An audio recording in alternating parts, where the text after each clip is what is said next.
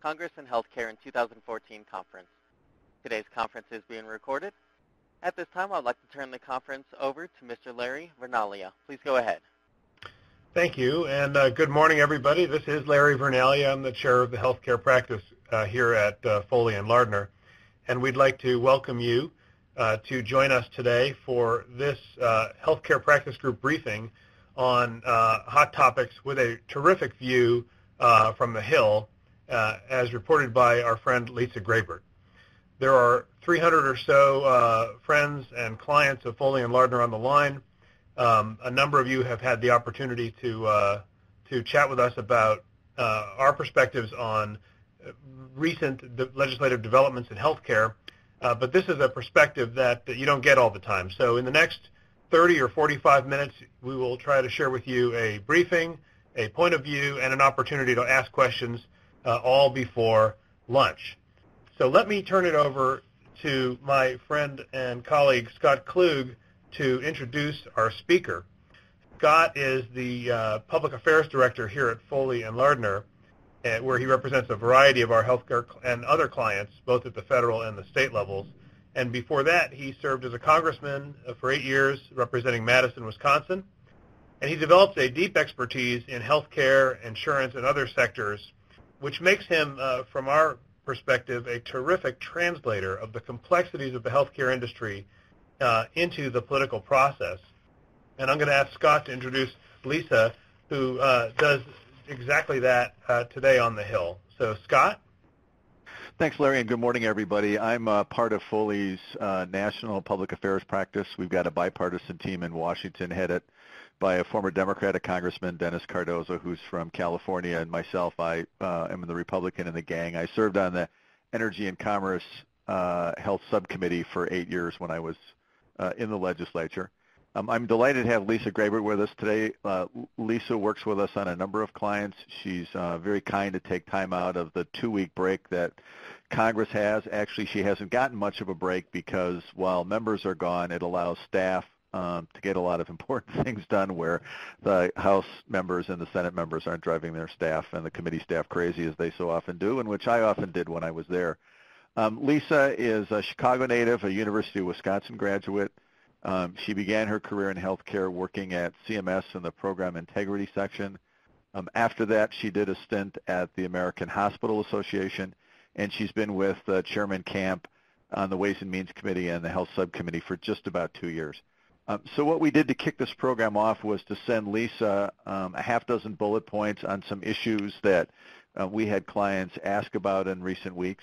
Um, so I'm going to ask Lisa to sort of run off that sort of tick list we sent her. And then, as we said, we'll try to leave another 20 or 25 minutes for questions. Lisa actually has to go back into conference on uh, a post-acute reform bill they're working on. So her schedule's tight, so um, I don't want to take up any more of it. Lisa, thanks for being with us. Great. Thank you, Scott. And good afternoon, everyone. Happy to uh, provide you a quick perspective on what the Congress um, is looking at right now in terms of the Medicare program. As Scott mentioned, I handle the Medicare Part A portfolio on behalf of Chairman Camp for the Ways and Means Committee in the U.S. House. Now, the first thing on my list to give you a perspective on is the prospects for a permanent fix for the Sustainable Growth Rate, or SGR. Um, as you may be well aware, this at the end of March, we Congress passed a one-year patch for the SGR if the Congress had failed to act, um, which is a good thing we didn't, by April 1st of this year, a negative 24% cut to Medicare physician fee schedule services would have gone into place. So it was important for the Congress to act, and we act in a temporary um, patch fashion, as we like to say on the Hill. Um, and most of the members in the House and the Senate were took a very hesitant vote to do that SGR patch. Um, we had made a lot of progress. The committees of jurisdiction, energy and commerce, Ways and Means, and the Finance Committee in the Senate came to a six-party bipartisan bicameral agreement on a policy to fully repeal the SGR. And there was a lot of momentum moving into the patch and there was a question um, as to whether or not instead of doing a patch, we might do a permanent solution. And we got pretty far in discussions, and we really didn't make enough progress in the time that we had available on how to pay for the SGR patch. And that's always the big question for the U.S. Congress. It's really difficult to come to consensus around different areas to look at to find the funds necessary to pay for the SGR. So the prospects, I think, for a permanent SGR fix are very strong, and I um, have a lot of faith in the exercise, mostly because when we watched the reaction of our members to the patch, we knew that pursuing full repeal of the SGR was something that they're really dedicated to and they would like to see done. So as staff over the next couple of months, we will be getting together to try to see if we can come to consensus on offsets and way to, ways to pay for the SGR. So that's sort of the next exercise that's on the horizon. Um, it's kind of nice to be able to engage in those discussions without a deadline looming um, because we have up until April of 2015 um, before we have to address the SGR issue again.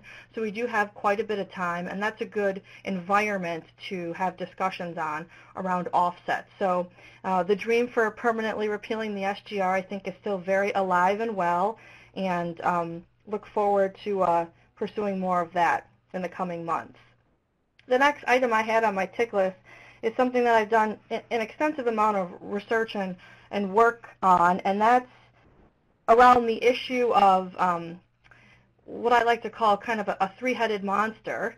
Um, the difference between inpatient and outpatient payments, um, CMS's policy that they put in place around two midnights, the audits associated with contractors working around that, and then the third part of that um, is the Medicare appeals process.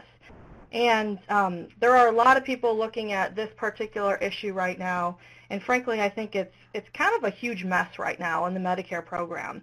Um, there have been, for some time now, a lot of audits building up from the recovery audit contractors, the RACs, who have explicitly been looking at short stays that are been that have been billed inpatient by hospitals.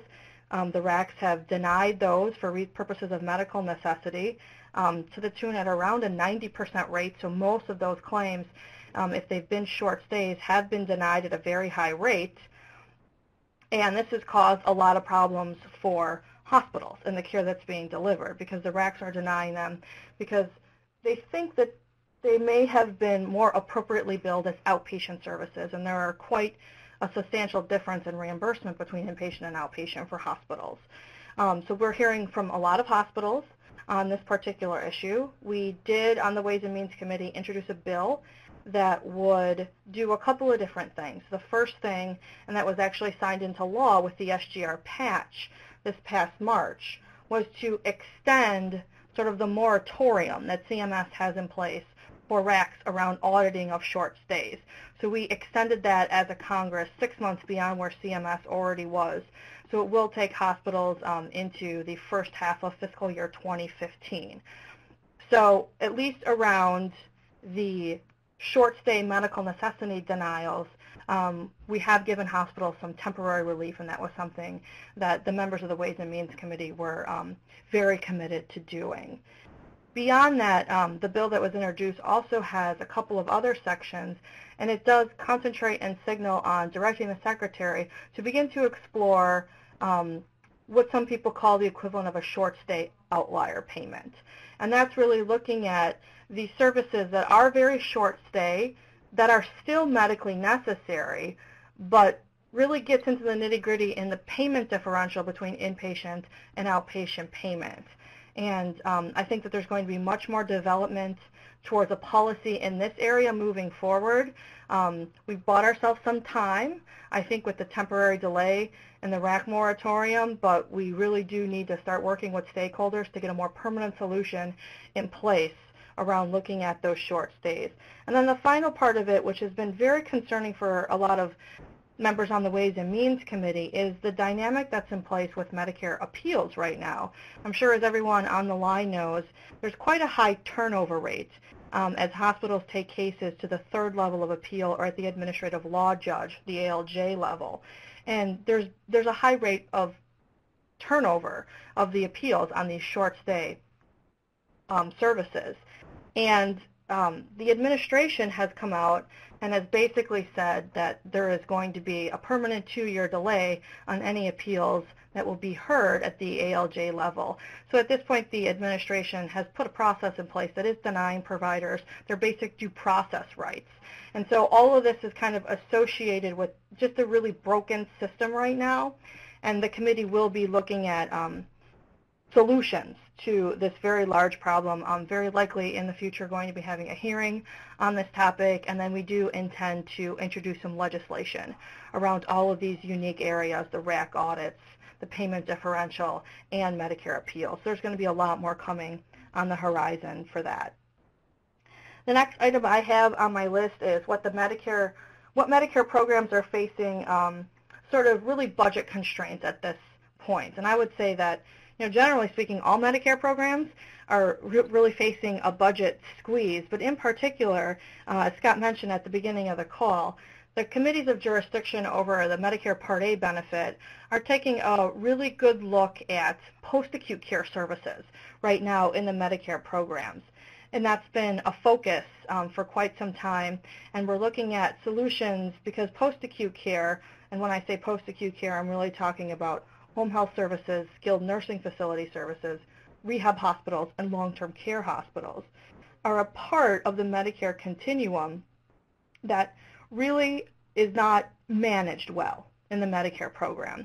We don't have standards in place that allow hospitals to effectively know what the proper right setting is for a patient to be discharged to after they've been treated in the hospital. We don't have quality metrics in place that indicate what are the high-performing post-acute care facilities.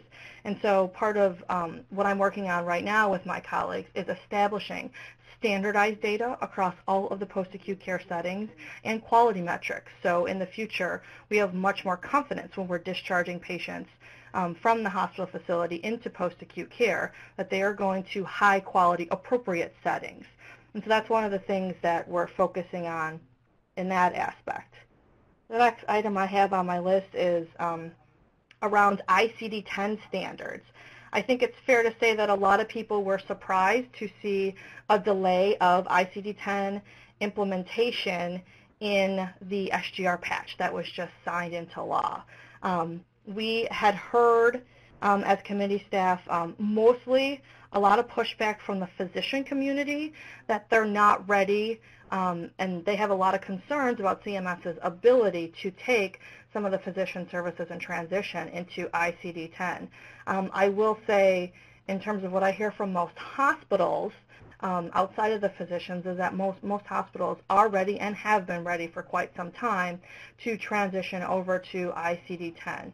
So um, I think in the, the one-year delay that we do have in place right now, Congress will be working um, and probably pushing CMS towards making sure we have the back-end systems in place, testing to demonstrate that they are fully ready and capable of accepting a whole new classification of codes in order to process for claims processing.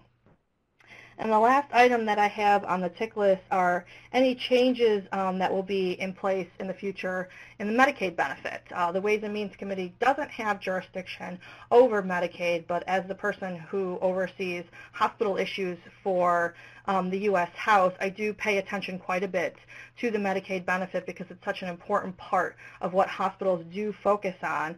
And I think that we're going to just continue to see more and more states become much more creative about getting around and coming up with new solutions towards looking at Medicaid expansion. There's a lot of um, red states in the country who have opted now to not do the Medicaid expansion, um, but people are really starting to get into much more creative solutions. I think the state of Arkansas is a great example of that, and um, I expect to see more and more states to begin to take that same approach with their state legislators that Arkansas has and really lead the way and think about more creative solutions to try to get at um, more expansion of the Medicaid benefit. So that's a quick overview of uh, the opening remarks I wanted to make, and I'm happy to take any questions or comments you may have. So uh, this is Scott. I know Larry's got one to start with, and then if folks who are on the line um, want to ask a question, um, you can type it in which you always can do, or you can actually just dial in a call in order to activate um, your ability to conference, and you just press star one. So, Larry, why don't you ask the one question I know you asked about, Lisa? Uh, I, I did. I did have. I did have one, but before I get there, I was curious to go back to your comments on the ICD-10 uh, delay. Um, if you can, how much of the delay was caused by concern about the agency's ability to uh, implement the new standards versus providers' ability to uh, navigate the many new codes? Um, I think that it was primarily more on the side of the agency's ability to demonstrate really on, more on the physician side because I think the agency has done quite a bit with the crosswalk and testing of it for um, the hospital side. And so I think that much more of it was a concern around um, the agency's ability um, versus the pushback that we were hearing from stakeholders to actually physically change their systems and be ready for it. Uh, thanks. That makes a lot of sense. Yeah. So one of the questions that uh, Scott and I were kicking around is sort of what's your what's your perspective on uh, CMS's uh, data dump, for lack of a better term, that came out earlier this week? You know, regarding some 880,000 physicians and all their uh, Medicare payments. Has the did, did that come as a surprise to you, or had you have you guys got a view on that? I don't I don't think it came as too much of a surprise to us. Um, the agency has been in litigation um, sort of over the issue of transparency, especially around physician services, for many years at this point. Um, so I don't I don't think for most people who have been closely following it that it was a surprise. I will say just anecdotally, um, it's been kind of fun to see the press pick up on certain aspects of it. The press has reported on um, certain physicians in the Congress who practice and family members of those physicians and have gone in and looked them up and sort of been banding around and reporting on those. That's been kind of fun to watch um, just because it's, you know, it's kind of interesting. But I, I do think that, um, you know, generally speaking, that it's good to have data publicly available. Um, and there have been a lot of questions that have also been raised about the usability of the data and potential unintended consequences associated with it. And that's something that we're paying really close attention to. Um, but in, in, general, I think most of the members um, that we hear from, especially I can say for the Ways and Means Committee, um, one of our members, Paul Ryan, recently introduced a bill with Ron Kind um, around qualified entities for getting more use and access to Medicare data. And so that's something that we're really looking into, and it's very, you know, closely tied to some of the stuff that CMS just recently released. And then there's also a bill in the Senate that's also very closely tied to what Mr. Ryan introduced.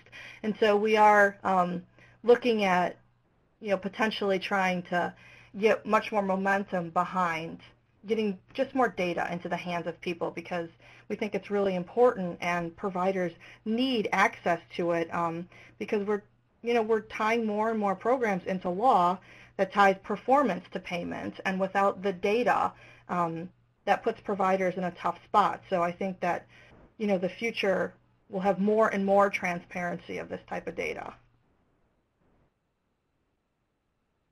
Okay, do we have people with questions on the line? Again, please star one. I saw um, a note here from Russ Blackford, but Russ, part of your question um, got clipped here, so I'm trying to make sure I yeah, can read this here. I think I think I think the question is: uh, Is there any chance that we're ultimately going to skip ICD-10 and move straight to a next generation uh, classification of diagnoses, 11 or 12?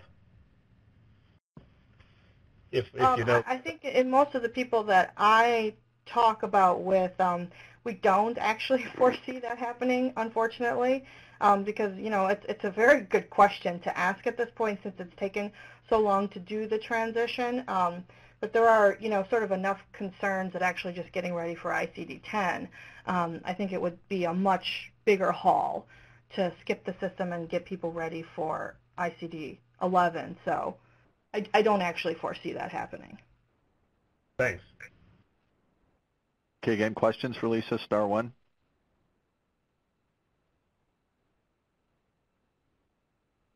Here's another one from Jenny. Uh, the Wall Street Journal has even suggested, sorry, this uh, having a hard time reading the slide here the way this presentation is working. Larry, can you read the full question on your line? Sure. Yeah, the question is um, that the journal has suggested wiping the slate clean with respect to the costs of the SGR repeal. Um, and if the impasse on offsets continues, is there a possibility uh, that that might happen? And if it doesn't happen, uh, the question asks, is there realistically a way to offset the SGR costs without gutting other providers? Sort of a compound question. Yeah, no, it's a it's a great question, and uh, that Wall Street Journal article um, definitely had a lot of us, you know, kind of, hmm, that's interesting, you know, that the, even the Wall Street Journal is picking up on so what is sometimes a very nuanced, you know, inside the beltway, as we like to say, policy issue. Um, I, I don't foresee that, um, at least on behalf of the House, that we would be in a scenario where um, certainly outside of a very large deficit deal, um, that we would be able to pass the SGR unpaid for. Um, that's just the you know the dynamics of the House and the the majority that the Republicans have right now in the House mean that every single vote counts, and um, we've had a lot of very tough votes, even recently, um, getting all of um, even the Republican members on the same page. So I, I don't foresee um, that there's going to be just enough votes, even in the House, to um, get everybody on board with an unpaid for solution. Um, so, you know, a lot of solutions that people, I mean, especially the Senate has been talking about an unpaid for solution or um, using overseas contingency operations funds, OCO funds, to pay for the SGR, unfortunately just are not tenable positions that we think we can get 218 votes on in the U.S. House of Representatives. Um, to the to the broader question on whether or not we will, in the discussion of permanent SGR, move and migrate away from provider cuts, I think that's definitely the goal of the House. I can speak on behalf of. Um, we are very interested in looking at some structural Medicare entitlement reforms that I think um, can produce a significant amount of savings.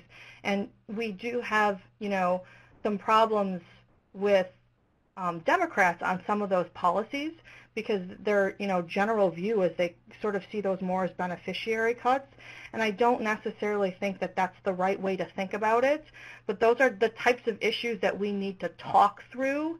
Um, so if you're looking at things like combining Medicare Parts A and B um, looking at income related premiums for Medicare Parts B and D in those two policies right there, we can find well over $100 billion to offset any SGR policy. Um, they're not easy policies for people to vote on, especially in an election year. Um, but I do think that they are some of the types of things that certainly the House will be looking to advance um, as we have these discussions on how to offset the SGR. This is Scott. You know, the sort of PAYGO strategy has been in place in Congress for about 15 years, uh, and I think been embraced by both sides of the aisle. So now it gets really tough um, to make the SGR permanent fix work unless you can find offsets. And as you can imagine, most of the offsets are painful to other interest groups. So, you know, while you may make the doctors happy, do you make the hospitals or their nursing homes or the pharmaceutical industry or somebody else deeply unhappy with the offsets on the other side? Um, two more questions that are in. One, uh, Lisa, how will providers be able to correct incorrect data or provide more information to the payment data released that CMS just did? Uh, you know, CMS hasn't really articulated a process for looking into that. Um, but the question in and of itself, I think, says a lot about the value of the exercise and putting the data out, that people are beginning to look through it and begin to scrutinize it. I mean, really it speaks to the power of public reporting, if you will, and public release of data. I think it's, it's a good thing for people to be asking those questions. Um, and, uh, you know, we're happy to work with people to make sure that those types of corrections are being made to the data. One, one area that I'm really familiar with um, on quality measurement in the Medicare program there is a you know fairly sufficient process in place where, for example, hospitals, um, since I'm talking to mostly hospital audience on this call, hospitals are really given um, confidential feedback reports of performance before they're publicly reported on Hospital Compare, and in that period, hospitals are able to submit corrections to any of the quality measures before they're publicly reported. And so that's a process that's in place that we can look towards to model after to make sure that providers are given um, a chance to make corrections to things that are publicly reported. And here's sort of a related question. Uh, do you suspect a higher level of whistleblower complaints now that CMS has released Part B payment data? Um, I think certainly that is one of the goals that the administration articulated in release of the data. And I know that that's something that's going to continue to be a challenge for the HHS Office of the Inspector General um, in working with the public to see that. But, you know, it does seem that people are excited to be looking at the data, and um, I guess we'll just wait and see what comes out of it. So we, uh, most of the questions we've gotten at this point obviously have been have been written by people, but we promised you you could uh, do live questioning. So um, star one if you have a question for Lisa. Anybody holding? Yes, sir. We do have a question in the queue. Go ahead, please. Uh, yes, hi. This is Jason Schaefer from HCP and Company. Thanks, guys, for putting this on. Really, really appreciate it. Um, quick question about the ALJ uh, review and just the delay there. Um, just wanted to get a little bit of your insight in terms of where you think that that's ultimately going to go um, regarding two two factors. One, obviously there's a really big backlog um, now at the ALJ, and, and you know that that uh, is causing pretty significant working capital issues for a lot of uh, hospitals. So wanted to understand if there are going to be any mechanisms put in place uh, to really speed up that review process. Uh, and then second part of the question is, uh, have there been any discussions about changing uh, the incentives for the, the RAC auditors, um, you know, specifically regarding these high amounts of, of turnovers?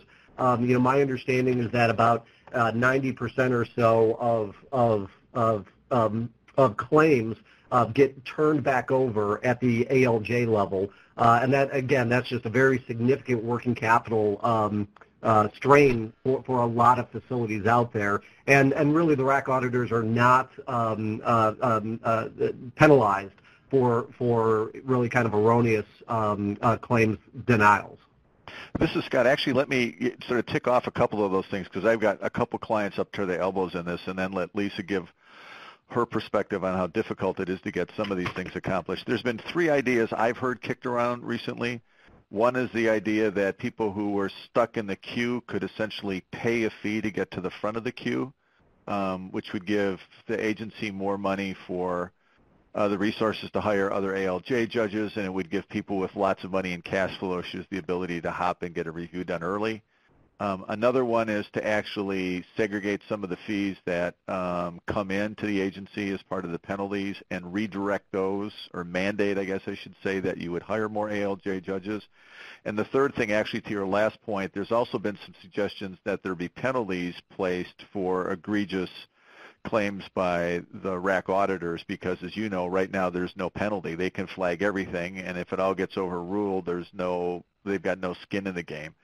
Um, those are all ideas that are being kicked around on the Hill, but I don't think anybody's figured out how to get any of those done. But sort of, Lisa, I know you're getting besieged on this issue. Yeah, um, all of the things that Scott just articulated are things that a lot of people are talking about. Um, and, and I do think that you asked the question in the exact right way. We sort of have this immediate issue that needs to be taken care of because we have a two to three year backlog at the ALJ level right now for providers and it's creating massive cash flow issues. I'm really concerned about um, smaller and rural providers having their um, you know, Medicare reimbursement tied up at these levels. And so, you know, in addition to some of the things that Scott articulated, there are a lot of people right now who are thinking through, um, you know, sort of immediate relief of the backlog by putting together a policy that would allow providers to potentially enter into a settlement agreement where um, the settlement would just be sort of in favor of, in the case of inpatient services, that it is an inpatient service um, without having to go through the um, inpatient, through the ALJ process. Um, so it would sort of avoid that, um, and it would allow at least the U.S. Congress to um, possibly get some programmatic savings out of it because the settlement um, could be somewhere less than 100% of the inpatient rate. And so that's kind of a solution that some of us are thinking about in terms of immediate um, relief for the problem. But there's also, you know, what do you do with the process in the long term? Um, you know, as Scott mentioned, the uh, Medicare appeals aspect of HHS is significantly under-resourced. We probably need additional um, ALJ resources, and so we need to look at, you know, providing those types of solutions.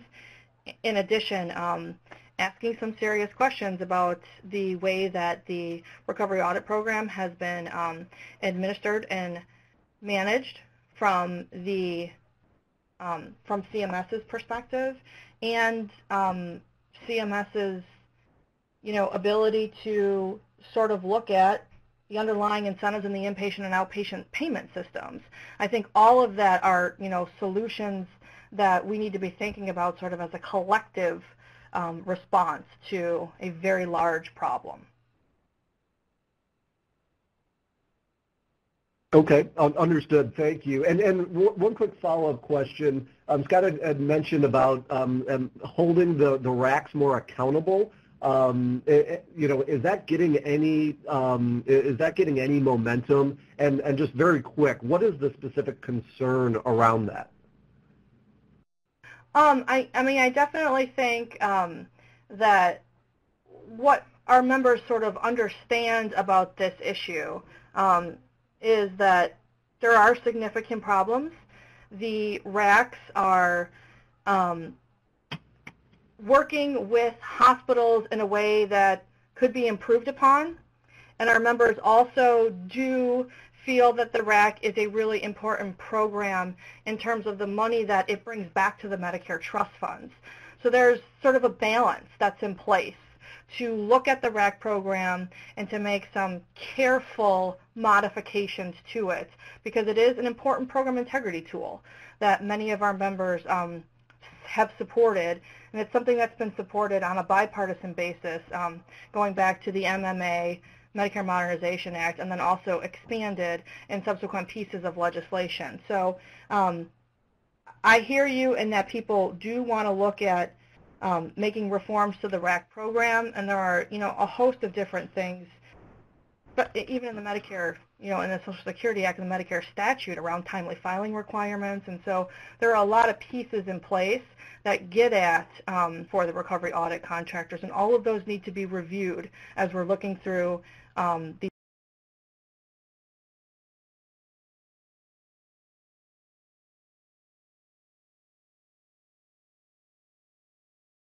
policy options. We should probably let you get back to the uh, the people's business. Uh, but we wanted to thank you for your for your time with us today, and I hope that we may be able to uh, call on you again sometime. This has been an extremely valuable uh, opportunity for our clients, and, and for me, I learned a lot. Great. Thank you very much. I appreciate the opportunity to talk with you this afternoon.